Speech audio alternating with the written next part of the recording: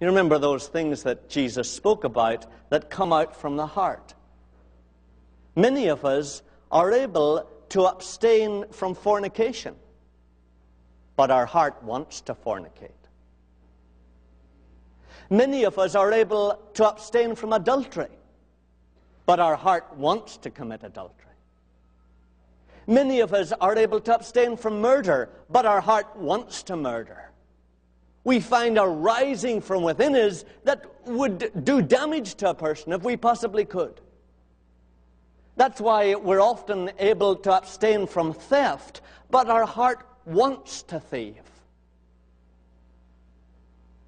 We're often able to abstain from slander, but our heart wants to slander.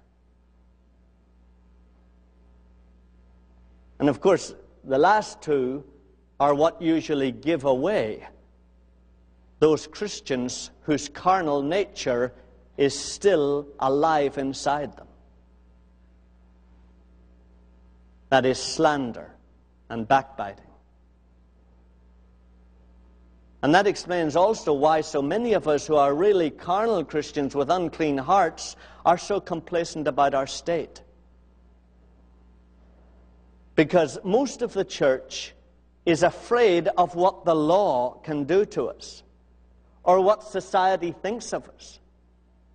So many of us who have become aware of God don't want to have our reputation spoiled by getting into trouble with the law, so we abstain from murder and theft and adultery and fornication. But there are no legal penalties for gossip and backbiting and slander.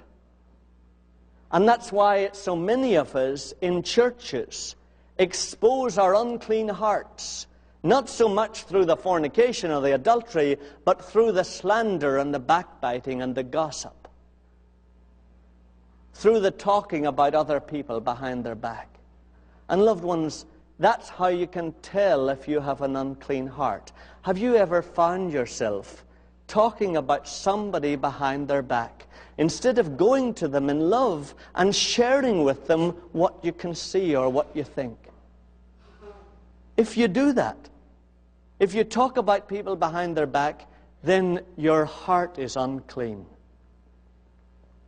And you'll continue to allow that unclean heart to take you in an up and down Christian experience for the rest of your life if you can last throughout the rest of your life, because increasingly that unclean heart clouds the voice of God, just as that does. It clouds the voice of God, and it clouds your sight of God.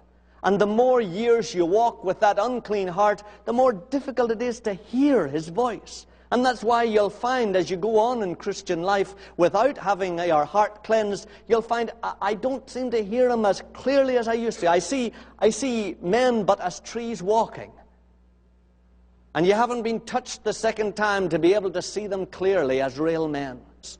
And have you ever found yourself in one of those little negative complaining groups where everything you say, you know, is, oh, this is wrong and that's wrong, and I'm complaining because they should do this this way? Loved ones, if you find yourself doing that kind of thing, it's because your heart is unclean. Your heart is dirty. And that heart of yours will continue to send up that kind of motivation to you as long as it remains unclean.